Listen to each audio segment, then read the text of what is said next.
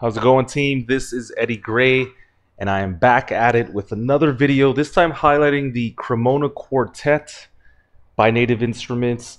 This is the series that I personally was the most excited about, simply because I have a couple of great uh, string libraries that I really enjoy and that I use all the time, and I just needed something to be able to come on top you know, I needed a, a, a, melodic player, an expressive violin player, a viola player to be able to come out to the forefront and take over the soundstage, if you will. And so I feel with this series, you can do just that. Now, if you've been following my channel, you know that I did an extensive manual read through of the Stradivari violin a couple weeks back. And if you want to find the manual, you can do so here. Okay, the GUI is essentially identical for each one of these incredible offerings. So we're just going to do a quick walkthrough and just listen to the various articulations and uh, compare to uh, compare that to the Stradivari violin. So here's the virtuoso mode which is, is basically what this instrument is built around. Here, check it out. Um,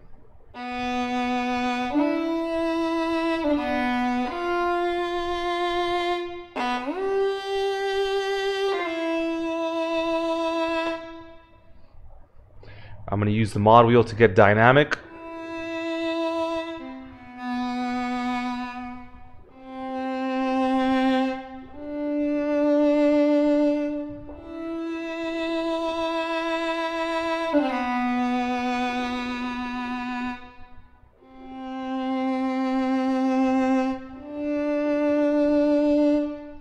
Go into staccato, I will use the pitch wheel.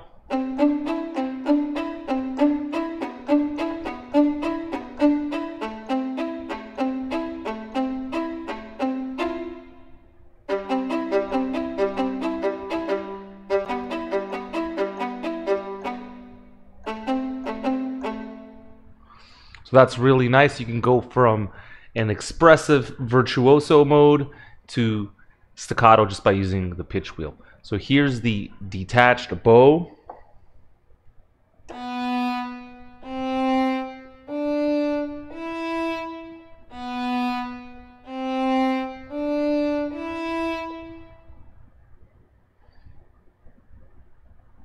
Okay. All right, we heard staccato. Let's listen to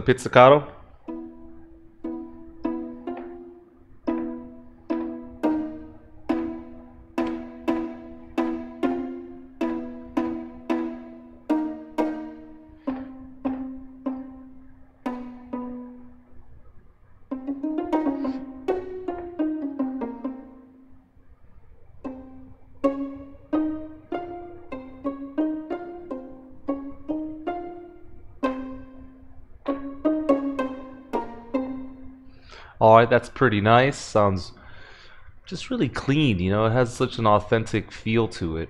Really enjoying it.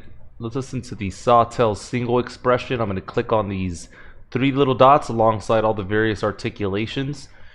So these are all MIDI mapped and you can kind of set where you want them to play. So if I want a, another articulation here, I can set it. So this is uh, this short articulation is really good for different runs. Say you want to do something really fast, like a...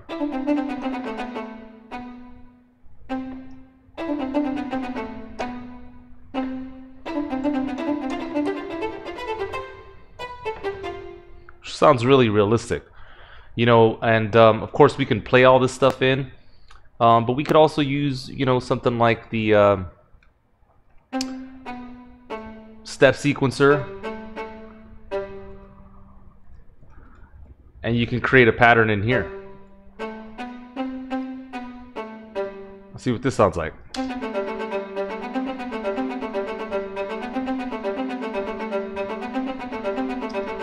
So that's just another way to do this. You don't have to just do it one way. You don't have to play everything and if you don't want to. It's probably better if you want to get that sense of realism.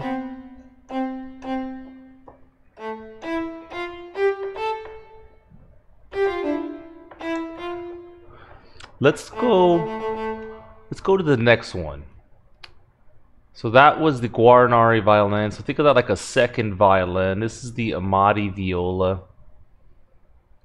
And I think this one really truly does sound like a viola. It has like the same body and the same resonance. Check it out.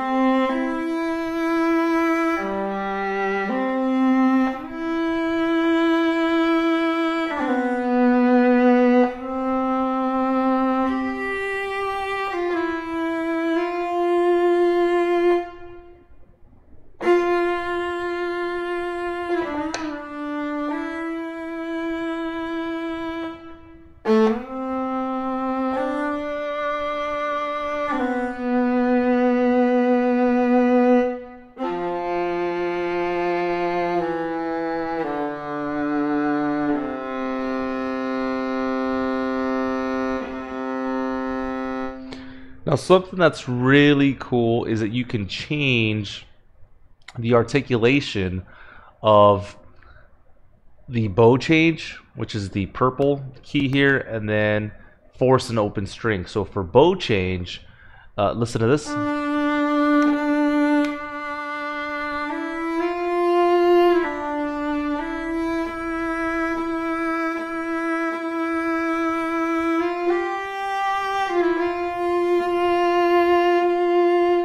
So you can literally change the player's strike, how he strikes the strings, uh, midway performance. So you gotta love that. And then there's force open string. Now this one is based on the the, the string of the viola.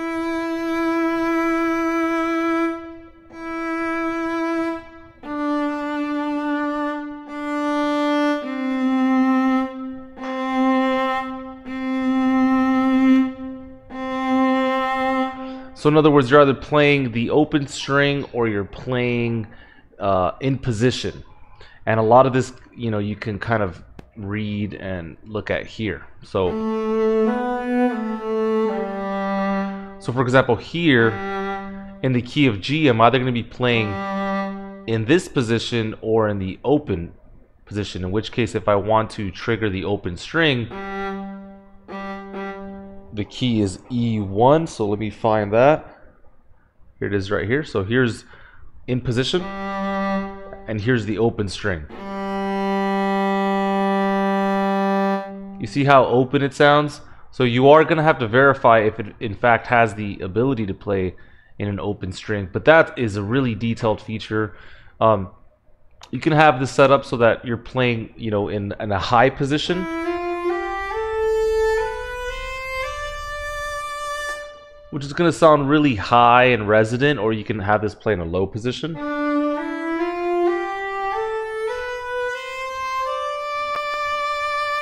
Which is going to sound a lot warmer in general. So we also have a smart mode, which is going to kind of choose for us based on our range. So this sounds really nice. Loving the Amati viola. Sounds absolutely stunning. Let me see if I could check out a couple of more articulations. Uh, let's do Ricochet. No, we did that. Uh, see. How about Spiccato?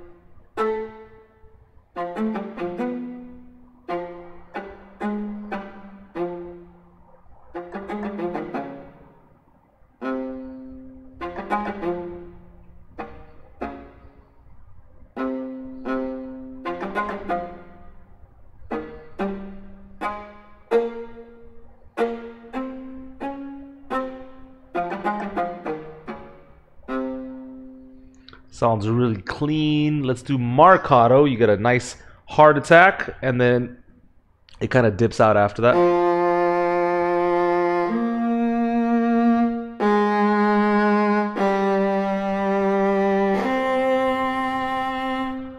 Really, really nice. This one is a bit more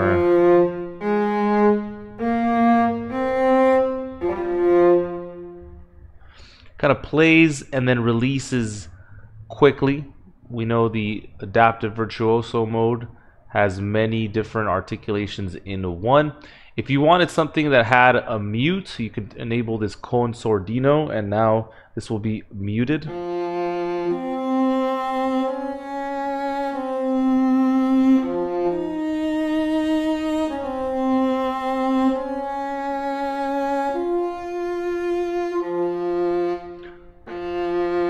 So this sounds a lot more open. And again, because you're using the tool to mute the strings, it's going to sound a little bit more dampened. Um, what's great is you can also specify, hey, I'm going to be using, uh, you know, fingered uh, spot or a bowed uh, position, or this is, you know, I need something that works with runs. So if I want to do something really fast.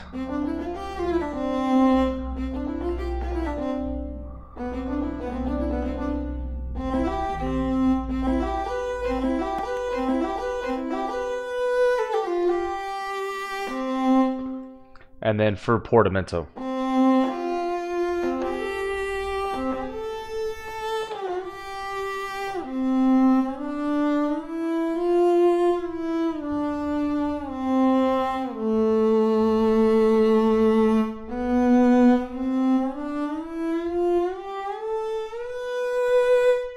So that's really nice. It really helps to uh, create those transitions. Now, depending on which articulation you choose, you're going to get various options. So just wanted to give you the heads up there. Uh, but yeah, really incredible series in the Cremona Quartet. Let's finish off here by checking out the Stradivari cello. Again, we're just going to check out the normal instrument, not the multi-mic position. Um, and as you can see, the GUI is pretty much the same. Let's listen to the quality here.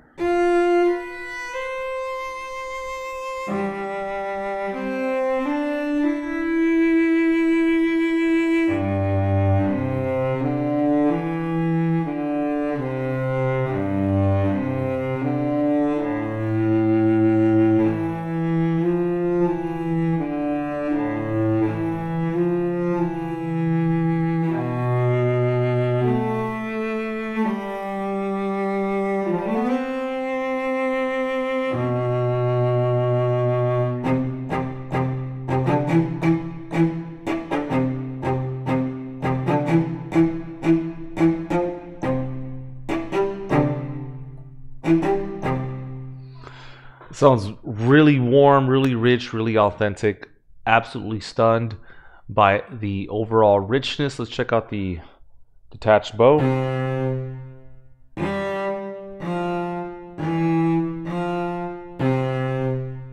Okay, really nice. Here's staccato.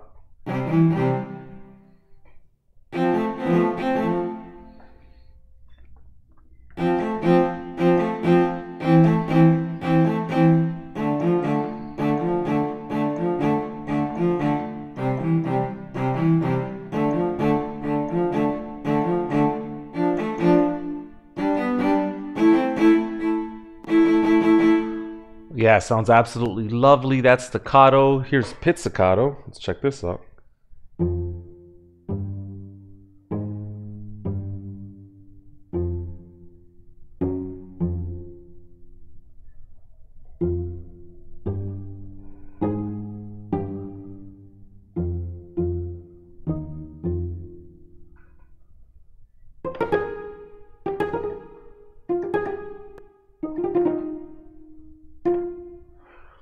Again, absolutely robust.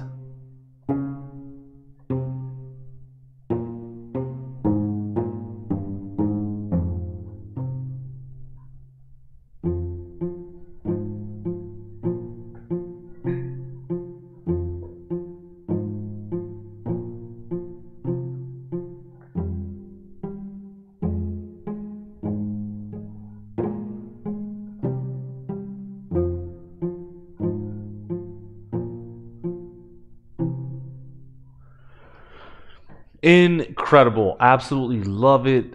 I just i know this is going to be in my front line quite often. Again you can play with the dynamics. Looks like you can play with the position. Uh, let's see if there's any other expressions or articulations that we can play with. Let's check out uh, Sautillé. What's this one here?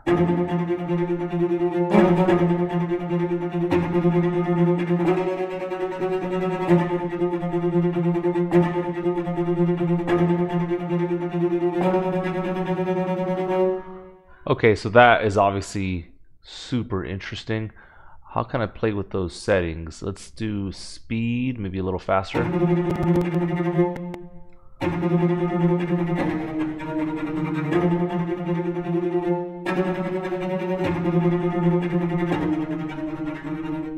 right, let's go really slow.